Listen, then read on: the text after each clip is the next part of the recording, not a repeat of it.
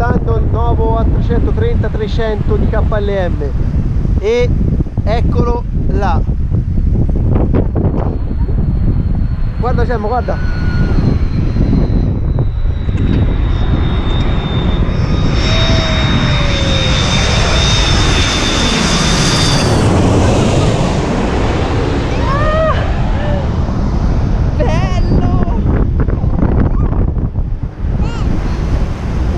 lei ha detto bello. Bello.